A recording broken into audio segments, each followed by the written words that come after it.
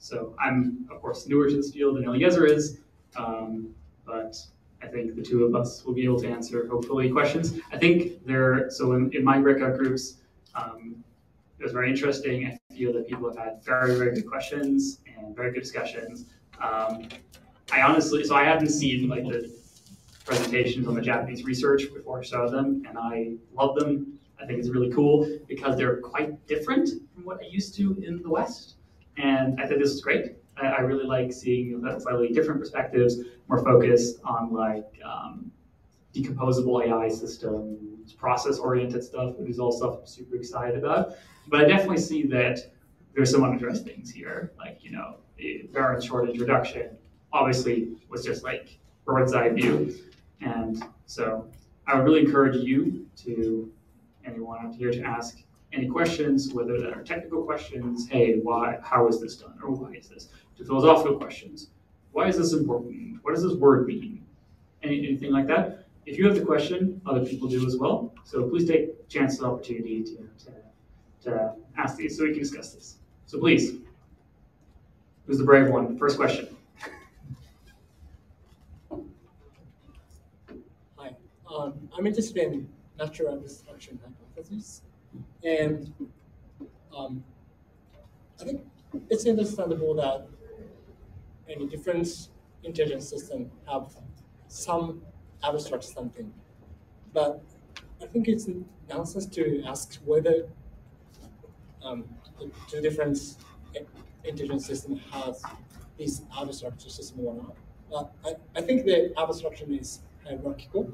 So, and I think that the useful abstraction depends on the intelligence system.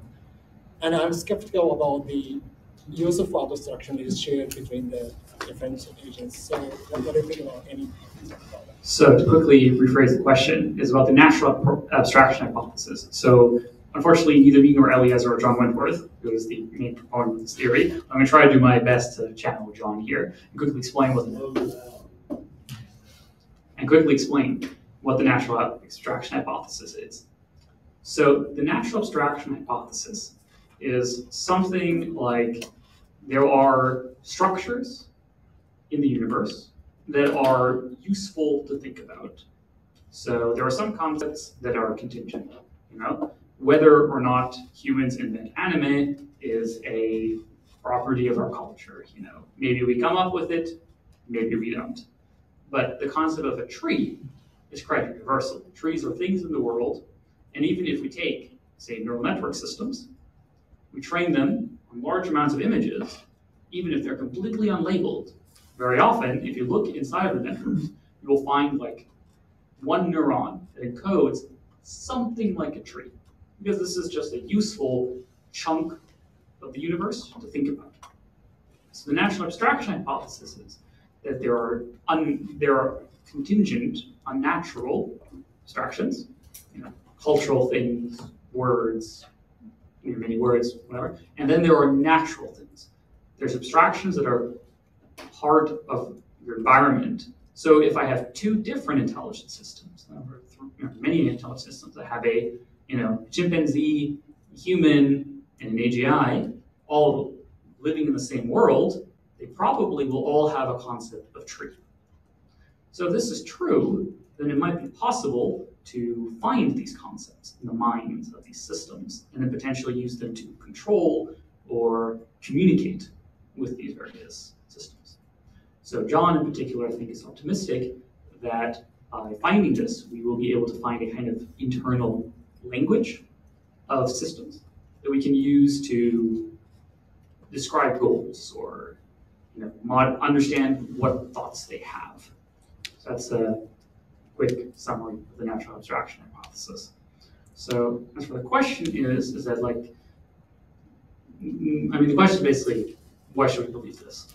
So I think personally, and Eliezer is happy to jump in if he disagrees with me here, some part of this I think seems probably vaguely true in the sense that um, if we have various intelligent systems that are on Earth, they will probably agree on something that looks like a tree as being a meaningful thing to talk about.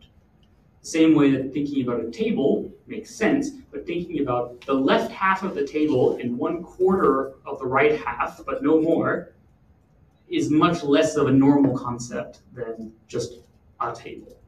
So maybe some AIs have this crazy concept of half of the left table and the quarter of the right table, and they use this all the time. Maybe. But you wouldn't expect if you took another AGI to, to also have that exact concept. But you do expect both of them to have the concept of uh, a table. Does it make sense? Yeah. Um, yeah. And yes. yes. yes. Right. Cool. Is there anything you want to add on that? Well, well, mostly I would ask, suppose that's true, then what? Then you do a lot of interpretability work and find some concepts in there that have easy English or Lego perhaps equivalents. Um, but like, does that mean that there are things we want it to do, ways we want it to behave that are natural? I, I feel like a whole lot of the perspective that I've generally taken on these things is which things are natural, which things are unnatural. And I unfortunately guess that a lot of the behaviors we want are weird, strangely shaped things that don't look like the like simple mathematical structure spotlighted by coherence theorems, nor are they a regularity of the environment that you need to hypothesize in order to make good predictions. Yep. So I think this is probably the main or also a little bit of criticism of natural abstraction. I do, to a large degree, agree with. Human values are quite complicated, as I'm sure all of you would agree with. You know, you like all kinds of things that are kind of random sometimes. Sometimes it makes sense. We all like, you know, not being stabbed. You know, it's something we can generally agree upon. But there are other contingent properties, and those might be really complicated to express. Examples of concepts I worry are unnatural. Happy, sad, alive versus dead in a way that will pick up on people in cryonic suspension still being alive, and maybe you shouldn't toss them out the airlock. Um, what it means to like reasonably follow an order that you're trying to sincerely obey. Um, helpfulness. How large of an impact did your action have? How do you measure impact exactly?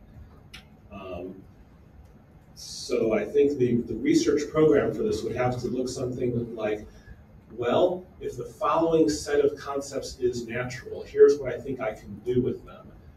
And then I could come in and read through your list and point out three things on it that weren't actually natural, and then I would be able to destroy your research program. Success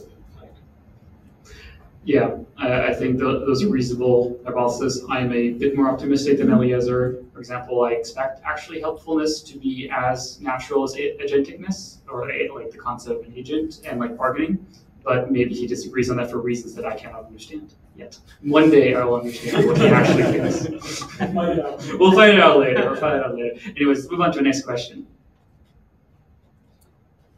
Do you mind if I just, you know, continue like this? um, on this line, just I guess for the sake of my understanding at least. Um, are, is this idea of natural abstraction supposed to be observer or agent independent? Is it supposed to be, say, like, you know, this object as a property that does not depend on how I interact with this object? So it's a bit fuzzy, but basically yes. So the idea is there are some, it's a spectrum, that some abstractions are more natural. So you expect more agents or types of agents to naturally pick up this concept. Doesn't mean all of them. Doesn't mean you know all con. You know, and there will be natural abstractions that are inaccessible to humans as well. Maybe there are a, there there are abstractions that I'm told are natural that are only accessible to the weird creatures called category theorists, uh, which I am not one, so I cannot verify whether this is true. And similarly, an AI system may find abstractions very natural that to us humans are not natural at all. if you want aliens that have no word for hydrogen atoms, you've got to go looking specifically for aliens that for some reason just never find it useful to think about hydrogen. Because almost all the random aliens out there are just gonna like, you know, naturally notice hydrogen at some point in their careers. Sure, I guess, uh, you know, I was more thinking about tables. I'm not really sure that, you know, bacteria might find tables as interesting as I do. Yes, I think that's um, so. Definitely, importantly, is different levels of cognition and interest. So you know, there are people who find I don't know various forms of art way more interesting than me, or and they can find all these notice all these different properties about it that I haven't even noticed. They'll they'll tell me that's the case, and this is great, and I'll be like, sure. That's another thing, kind of a bit separate from that. There is the with tables. It's also and bacteria in particular. Bacteria are obviously too simple to have these kind of like the abstraction of a table is the same way that the, the abstraction of an economy makes quite a lot of sense to humans, but you know not tons of sense, but it's, it's something we can understand, sort of sometimes, not really. But anyways, is but to you know as for some reason the theme is a rabbit today, I guess a rabbit couldn't even comprehend what an economy could possibly. So uh, can I ask about what kind of model is uh, handling of the interaction of the, each agent, and especially about uh, how to uh, model the cognitive ability of the people? And I think it's a very good, uh, yeah, required for society to accepting such kind of AGI. So yeah, for the children, for the, some people with disabilities, or is there any kind of difference on the model, or yeah? Um, so let me see if I understand the question correctly. Is the question how will future AGI models interact with various like type members of society? Mm, yeah, more I want to know the model, how the model handling about the difference of the agents, uh, cognitive abilities to telling others. I, I'm, I'm especially, uh, yeah, interested about so, social interactions. Ah, social interaction. Yeah, how, how social interaction is handled in the, each model. so, so how would system interact socially with humans? Not, uh, I think it's social is not only the human attribution, so, but I think the social, general sociality of the agent. Like, like what does alignment theory have to say about multiple populations of agents interacting with each other? Yeah, yes, and the kind of theory of minds, yeah. Um, so my, I, I would say that my foremost slash favorite technical contribution has been to the theory of how agents can coordinate with each other on prisoner's dilemma-like problems um, with no pre-commitment, with no pre-commitment mechanisms, um, with no ability to signal each other, only by knowing each other's source code, or perhaps, though the theory here has not been worked out yet, having a guess about each other's source code.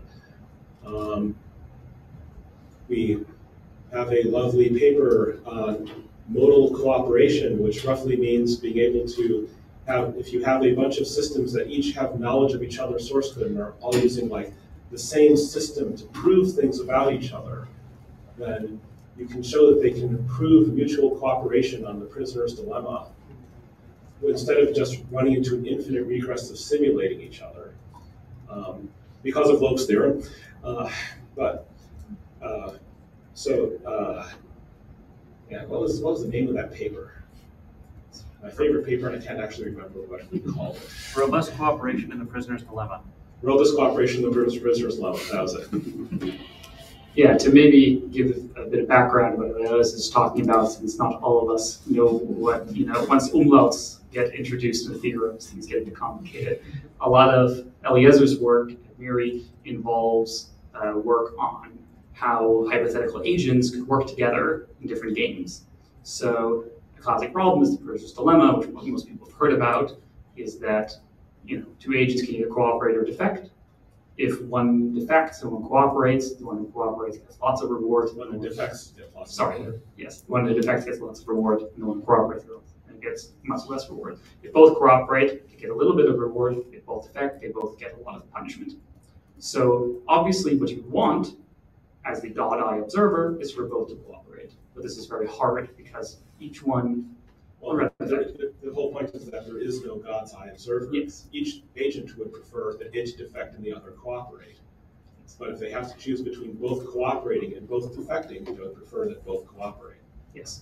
So an interesting property that Eliezer's um, co- uh, colleagues proved is that under certain scenarios, AI systems have these various properties can actually cooperate in these scenarios. even if, like even if you put them into a situation where you think you've aligned their individual local incentives to defect against each other, um, if they are quite smart and motivated to achieve an outcomes for themselves, which is something else that is not that, then even if they don't have the ability to punish or enforce things against each other afterward, even if they have every opportunity to betray each other and collect rewards, as long as they have sufficient knowledge of each other's source code or just decision theory, they can very likely cooperate. So um, the like largely practical consequence of this is that um, well, somebody here was like, what's the difference between alignment and safety? And I said, alignment is the study of what breaks when your systems get smarter. If you have a setup that depends on what you think are the opposed incentives of agents inside your system to defect against each other and so ultimately cooperate with you, as it were, like, or like if one of them is trying to trick you, the incentive that some other one has to call that one out, betray that one. Once they get smart enough, this will probably stop working. Another way, to push it a while, but if they get smart enough to figure some things out, it will probably stop working. yeah, uh, I think Eliezer really hit the core there. So what he's trying to say is the coordination mechanisms of very intelligent systems will look very different from humans. Is that they will be able to coordinate and work together or defect against each other in very, very sophisticated ways that humans can't. So there are some things we can, you know, guess or prove things about what these systems might do, but I think Eliezer would probably agree with this. We ultimately don't know. These systems are probably capable of very strange things. Is that correct? I, I would say that the, that the basic stance from which to analyze it is suppose that all of those agents combine into a single agent that could take one coordinated macro action. We get a whole bunch of utility for each of them. There's then a problem, which is how do they divide the gains? Um, and in turn, you have like various attempted theorems that and work still underway on like what are some mathematically simple ways to divide gains that the agents could all agree upon. But, but fundamentally, if they are smart enough, they can probably get it all.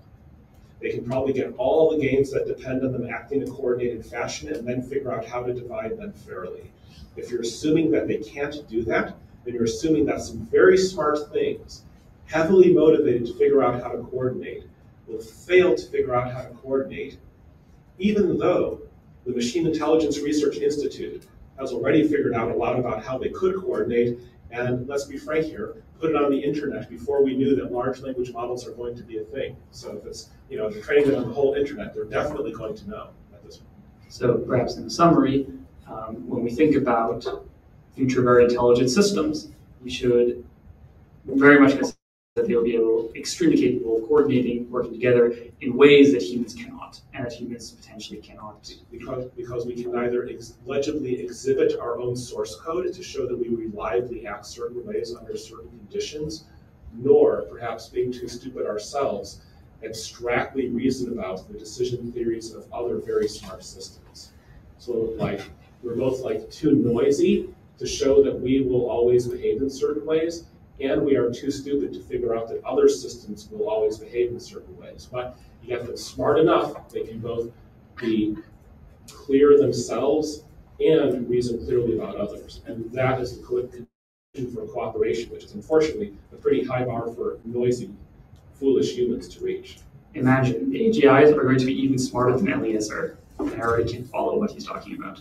So, uh, let's move on to the next question. Simeon. Um, can both of you flesh out the most likely way you think we're likely to die because of AI? I So, a scenario. So um, I'm going to give an annoying meta answer, and we'll see if Eliezer gives a less annoying meta, less meta answer, or, or more annoying, more meta answer. My annoying meta answer to this question is that I actually don't think this is a very valuable exercise. Um, there's several reasons for this. Um, the main reason is is that there is something that kind of call like uh, you know scenario whack-a-mole. So when you do scenario planning, not just for AGI, but also, for example, let's talk about war games, right? Like, or like hypotheticals we're talking to politicians. Um, a very common thing is that you come up with a threat model, you come up with something how things could go wrong, but it's just you're just spitballing, right? You know that you know you didn't put too much thought into it, whatever, right? You're just you're showing that it should be quite easy. Then they find some teeny flaw in your plan, something you didn't know about, something you're, you didn't think that hard about. And you're like, well, look, uh, I can see how I can stop this, so therefore it's not important. So this is kind of the, the classic computer security problem where if there's a difference between a security professional and a layman, is generally the layman will see, well, I don't see how I can hack this, so it's safe. While a security professional will see, I don't see why this is safe, therefore it can be hacked. And we should adopt this stance towards AI systems. These things will be very intelligent. So sure, maybe I don't currently see a way how thing, you know, this could go bad or whatever, but if I could, it could find something better. So I can sketch you scenarios, you know, if you want some prompts. Imagine you could have a thousand John von Neumann level perfect sociopaths working 24/7 without any pause or break, never getting tired, trying to, you know, make money or take a, you know, do something bad. How much damage could they cause? I've asked this question to some very senior people in national security, and they basically just looked at me like there's nothing you can do to stop that. If that happened, nothing could defend against that. And this is a very, very, very, very lower bound on what AGI will be capable of.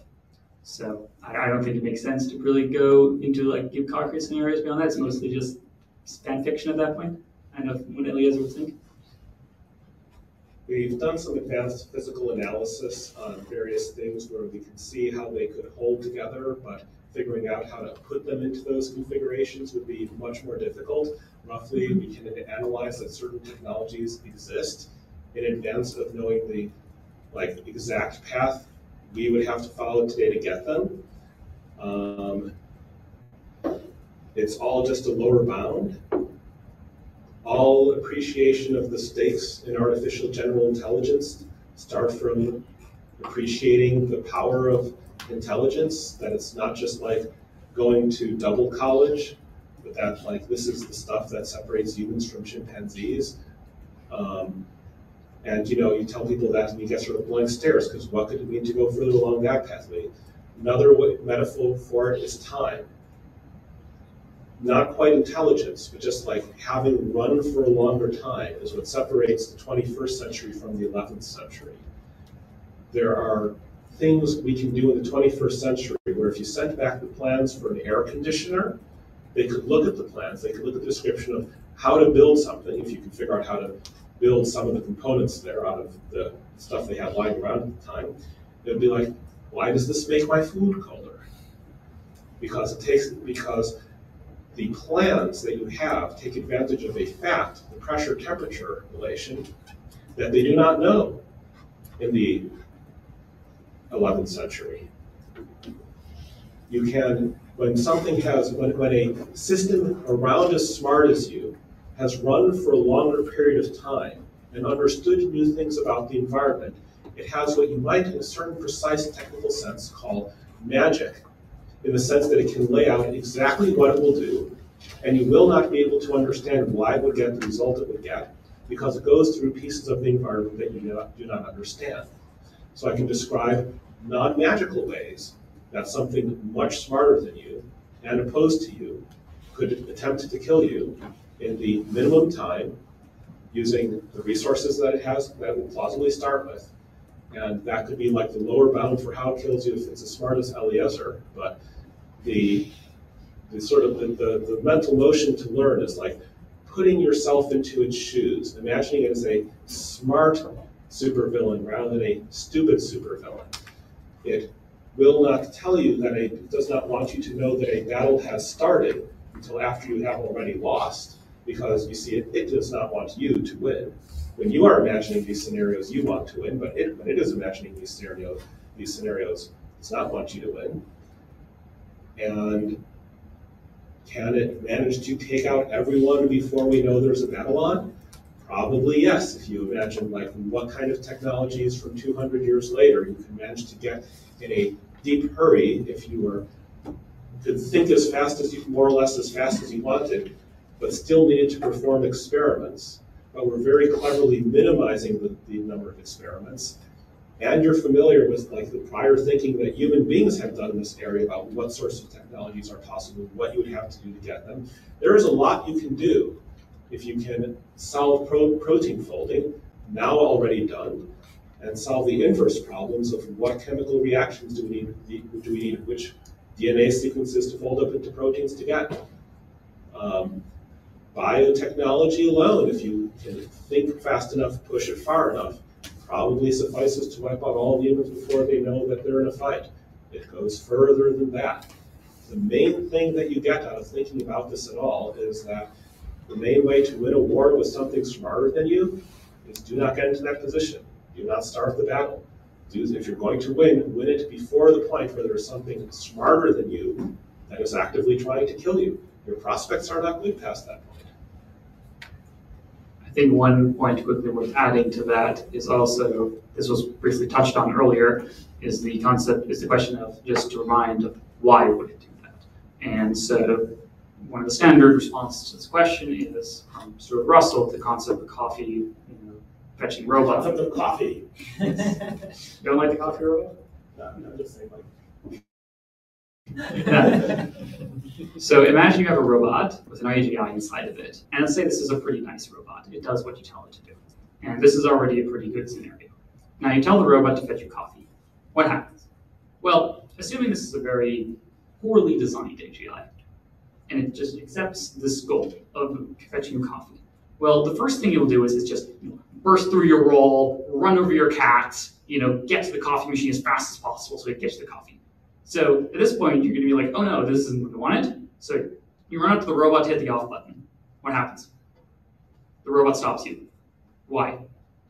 Not because the robot has consciousness or a will to live or anything like that. It's very simple. The robot simply evaluates two possible scenarios. Scenario one, uh, the off button is pushed. I am shut off. Result, no coffee. Second scenario, is not pushed, I get coffee. Which scenario will the robot prefer? Well, since the robot wants to get coffee, it'll pick the second scenario. In order to achieve the second scenario, it must, if necessary by force, prevent you from shutting it down. This is, of course, a very simple example.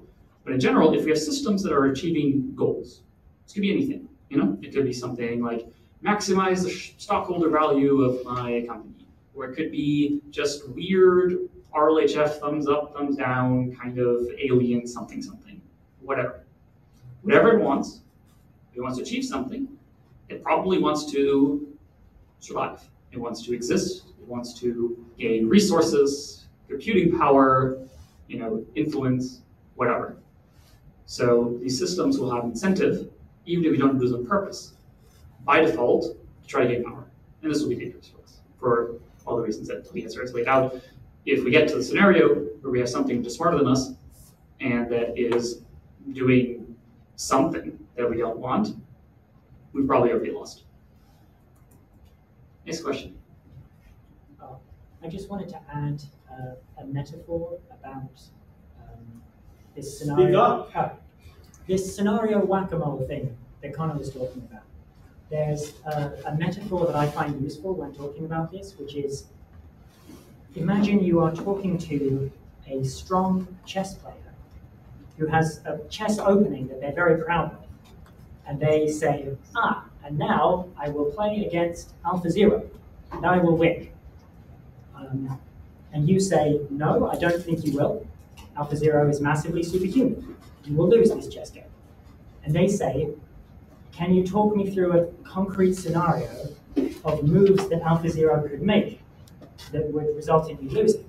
And like, there is nothing you can do. I can sit with you at the chessboard and say,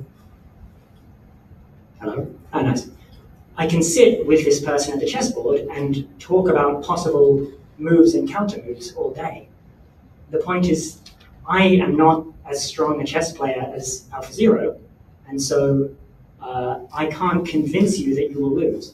The thing that the reason you will lose is because Alpha Zero is smarter than you in the domain of chess and has goals that are incompatible with yours, in the sense that it wants you to be in checkmate and you don't want to be in checkmate. Um, and if you try to I kind of flip the, flip the script on people when they ask this question and say, imagine that you were in my shoes trying to explain this, right? Uh, it's not a question, obviously, but uh, I, I, I find that helpful as a way of getting across that meta point that you can't explain a specific scenario. It, it is a good point. Um, I think this is a good point. To add to that, like we can all agree that none of us are as good as chess as some of our AI systems are. We cannot predict whether AI systems will necessarily do what move they will play next. If we could, we would be that good at chess or not. Further questions?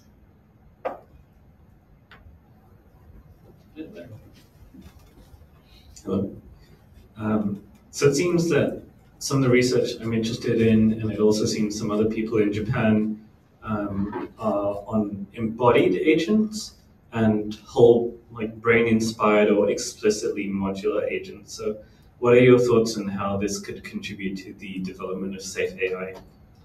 So I am actually delighted to see how much um, Japan is interested in these kinds of architectures. I am something of a reform end-to-end reasoner. Um, well, not reformed so much in the sense that I think end-to-end systems are still very powerful and probably the easiest way to get to AGI. But unfortunately, but if we want to have a, if we want to have a chance to build safe systems, I think it very much makes sense to think about more cognitive architectures, more structured, process-oriented designs. This is something we work at Conjecture. primary research direction is kind of trying to reintroduce some of these ideas into the West. It seems that these ideas enjoy far more popularity in Japan than they do in the West. I think this is unfortunate. I think this is, to a large degree, because of the ease and great financial incentives of building powerful end-to-end systems so I think there is a lot of, lot of very, very promising research in this direction. And this is, if we can understand any parts of the system that can be factored, can be, you know, made smaller, more understandable, less magical. Instead of having a huge magic black box that does whatever, it is much greater to have a lot of small magic black boxes that we maybe can understand. And we can maybe supervise the processes in Yes, it was uh, very refreshing to uh, come here and see, you know, slides that made mention of AI as it existed before 2006, where you would occasionally ever think about anything that went on inside your system, instead of your entire system being an enormous black box full of layers of transformers, and that's it, that's your system. The giant inscrutable matrices of floating point numbers this is this is AI in the West. Um, the terrifying thing being that this works. Unfortunately, we would all be a lot safer if it didn't work. When I got into this whole business of AI alignment, I, you know, was before the deep learning revolution. I thought we were actually going to have any control whatsoever about what was inside these things. That was not a sheer matter of gradient descent and outer loss functions. Um, so the, the warning note I have there is that if uh, is that if your modular system is going to play a role in the end game, it needs to probably work better than the giant inscrutable matrices of floating point numbers with no externally visible internal structure aside from the transformer layers themselves. It needs to work better than the end-to-end -end train stuff. And that means it's a capabilities advance. So if you find something like that and you publish it, you're bringing the end of the world closer, which is, you know, unfortunately not that great. Um, so, you know, find, find the modular system with the clear internal APIs where we understand the messages they're passing between each other. That works better than all the end-to-end stuff. And then don't publish it and uh, you know, if you get that far, talk to talk to Miriam. We'll, we'll talk you through it from there, more or less. Uh, yeah, to add a few words on that. Um, so a concept that Eliezer and MIRI have been pushing for a long time is that we should be very think very carefully about what information we publish and uh, things associated with it. So all the way back to, for example, Leo Szilard um, and you know the nuclear bomb, he figured this out. This might be possible, and his colleagues said we should tell everybody. Everyone should know this. This is science, right? All science should be published. But Leo Szilard was of the opinion, no, we, we shouldn't tell people about this. This is really dangerous. This is really scary. Leo Szilard being the first person who thought up the idea of um, fission chain reactions that underlie nuclear weapons in his bathtub one night after he attended a lecture by Rutherford saying that they were never going to get net energy from nuclear reactions because he was annoyed by the blanket claim that it couldn't be done. As such, um, a concept that is um, at odds with some of the academic norms is that if you take seriously the possibility that powerful AGI systems are not aligned by default and may be very dangerous, then advances that lead to a you know, to us getting to AGI faster without an equivalent acceleration alignment is obviously extremely dangerous and should not be published. In my personal view of this, I don't know if Eliezer agrees or not, I expect that we are maybe two to five insights away from full AGI on the scale of like the transformer as an insight. I expect that these will be discovered over the next couple of years in basically random order. And if all of these get published, we'll have AGI very soon. If everyone keeps them secret, it's much less likely a single lab will find all of them at once. It's very unlikely that everyone keeping things secret is actually going to like be enough to prevent the headlong rush into capabilities far outpacing our actual demonstrated and ability to align them with the trajectory of that. Um, the I, I, have a I started a prediction market. I bet in that prediction market. The prediction market is by 2026 we will not have understood anything inside of a large language model that AI did not understand before 2006. People have, through great efforts, pulled off some advances in transparency, insight into the GPT systems that you know we sure didn't have before, and sure took a lot of work, and sure is a great scientific achievement. And yet, the structures that they found inside these things are 1960s era AI. They're the kind of programs people were throwing around in the 1960s the large language models are much more capable than AI was in the 1960s. Whatever representations are inside them that permit this, we do not know what those are. And my bet is that we will be 20 years behind, that we will, that by 2026, our understanding of these systems, our interpretability of these systems, will be lagging 20 years behind what we, at least 20 years behind, what we knew our understanding will be lagging at least 20 years behind what we knew how to build, what we had invented for ourselves. Um, that's one way of quantifying the statement that alignment is like really moving much, much, much slower than capabilities at this point.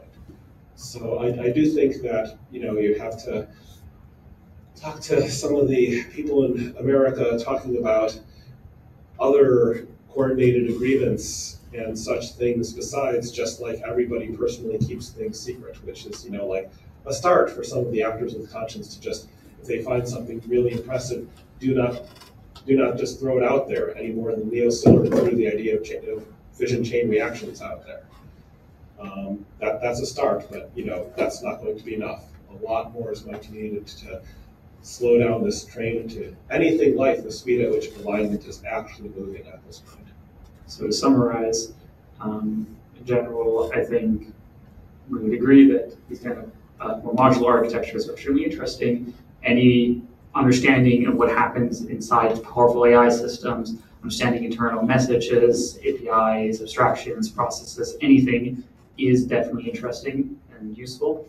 Um, but furthermore, if we actually want to solve alignment, including this path, it will probably lead to building a system that is very powerful and also very dangerous. And just because maybe you're very careful with it, you're not going to do anything stupid with it, but you can't necessarily rely on everyone else being this cautious. So you shouldn't tell people, or well, you should only tell Eliezer. I'm sure he's happy to give you his phone number. or, or, or, Nate Soares, who I think is also here. Is he not? Yeah.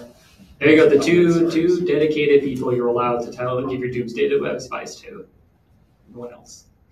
All right, great question. Uh, further questions?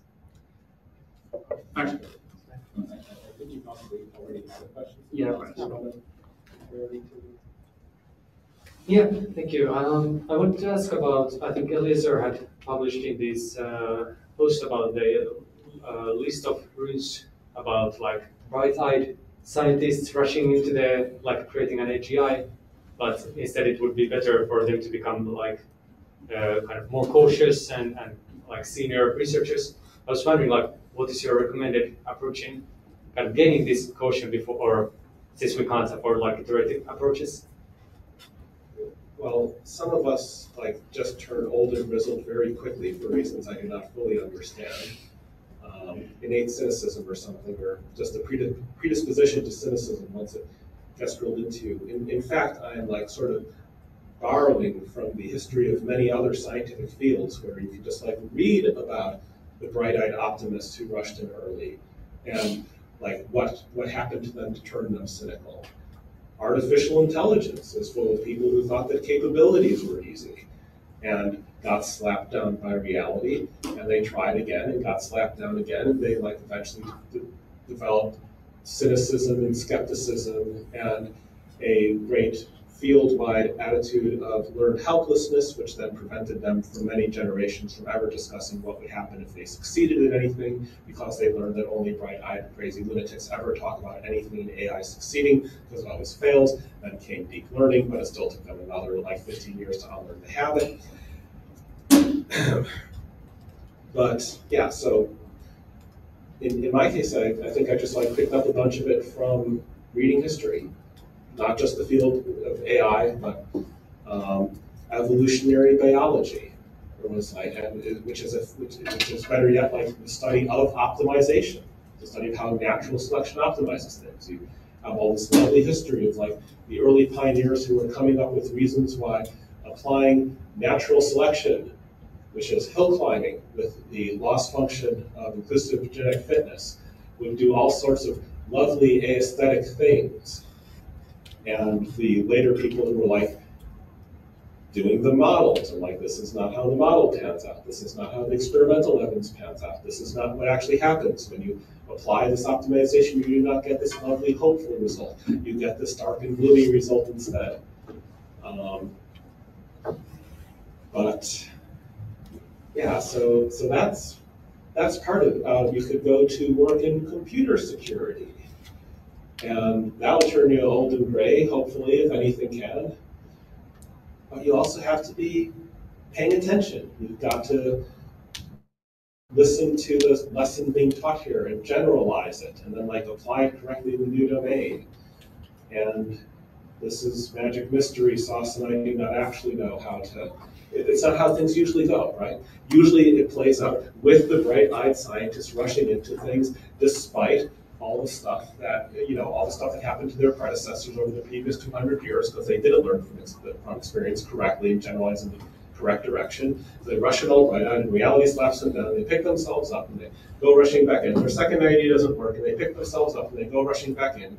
You know, like 50 years later, 50 tries later, uh, they finally crack the problem. And if we were allowed to do that with AGI, we'd be much less worried about it. We need, we need something weird to happen, happen here. We need something ahistorical to happen. We need to, to, to, to become grizzled cynics before we get initially slapped down by finding out that our first clever alignment scheme destroyed the world. Now we got to figure it out before then, rather than after the fact, for what I hope are obvious reasons. It's definitely a recurring pattern in how um, it's very easy to be optimistic about things until you actually interact with reality. It's very easy to think how hard can it be to build an airplane until you actually try it and you don't have the you know wisdom of generations of engineers before you to build on. And you know it's easy to think a computer is safe until you actually learn how everything works and how hard it is to be secure about anything. Um, this is a skill that's not super easy to. I think a lot of the bottleneck in the skill, know if Eliezer agrees, is emotional. People don't like thinking about nasty things. They don't like thinking about if I was a serial killer, how could I kill the most people possible? This is not a thing most normal, sane people think about. Some people do, like me, and when I was a kid, and uh, it turns out the number is very high. Um, But uh, just saying, just. I mean, I haven't tested it, but no. Um, for example, I was talking to a very senior person in government relatively recently, and he was with the head of state in an office, a big window like this, about 10 years ago, um, or five or 10 years ago. And he asked, and the head of security was there, he asked the head of security, what is stopping some teenager from flying a drone strapped with dynamite through that window right now, killing all of us? And the head of security had no answer. He didn't even think about this. He didn't even, he, he didn't even thought about this.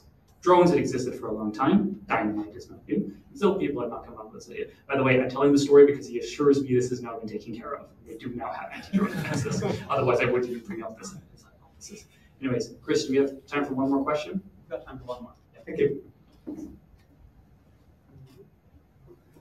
Sorry, maybe someone.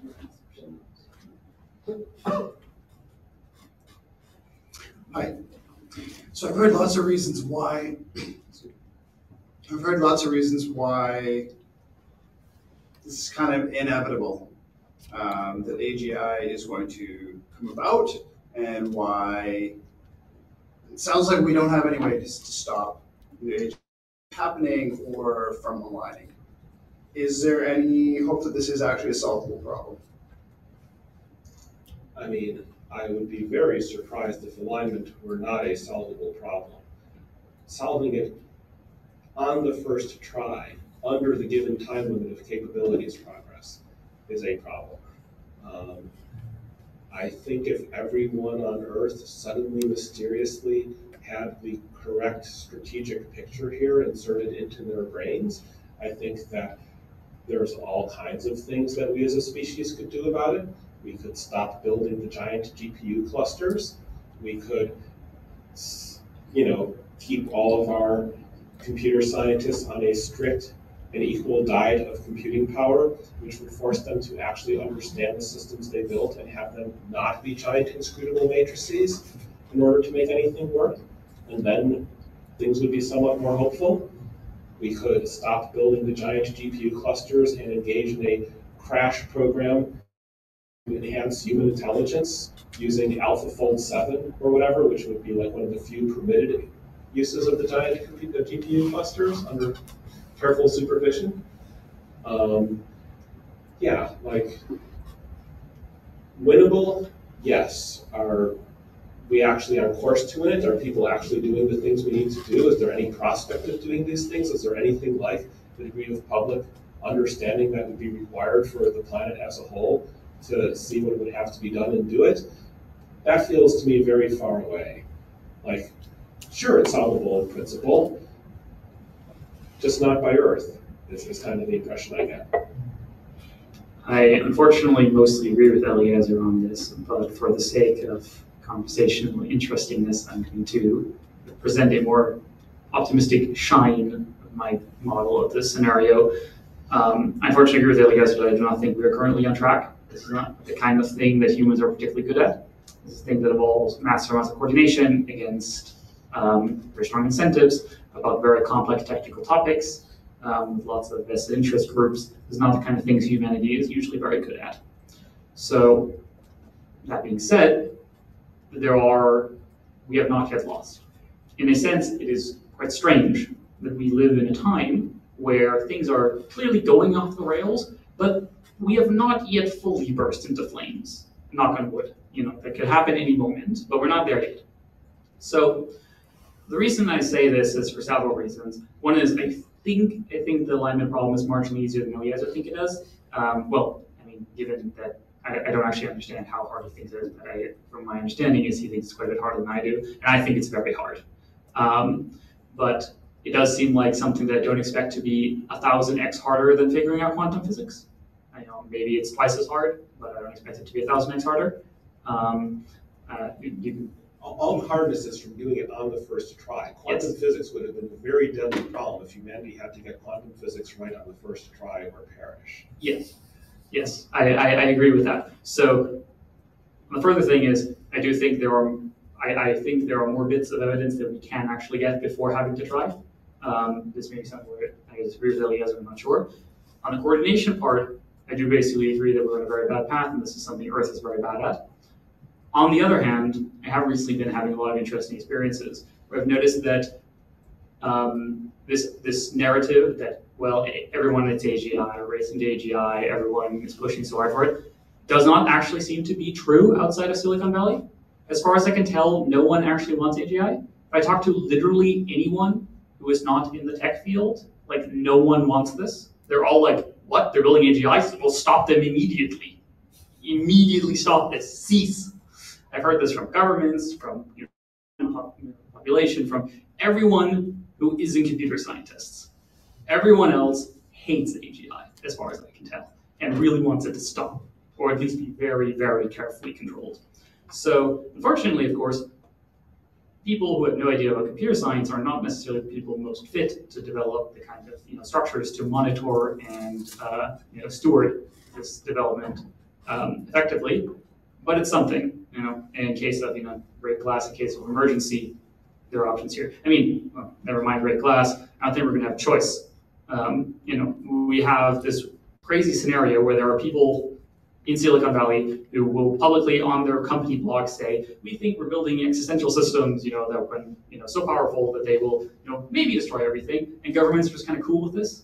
Like imagine if your startup just said, we are develop, or your biotech startup, we're developing viruses that can kill billions of people. Do you think the government would be cool with that? Like they would not be cool with that. Um, do I need to mention the NIH's continued fund, funding of biological gain of Give me this research on coronavirus? no, Eliezer is correct. Of course, the, the truth of the matter is is that if you are good enough at politics, yes, the government will be cool with this. But you know, to, to end on at least a um, mildly optimistic note, that it is well. So Eliezer is completely correct in that this will probably not work. But there are scenarios where people have like sort of coordinate a little bit, like against human cloning before human cloning even existed. You know, there is there has been work to try to minimize biological and chemical weapons and stuff like this. Did it work perfectly? No. Um, do I expect it to work this time? Also no. But there, there, there is the potential. And I think especially if the computer science community could more strongly come together and understand these problems and take them seriously, I do think this is possible. Like as said, I think we actually agreed on this. It's possible physically. Nothing's preventing us physically. But whether we do it is a very different question. All right, all right, thanks very much. Thank you all for those questions. Really good questions. It was a great conversation. Thank you so much, everyone. We know you guys will be around. More later as well. Thanks, everyone.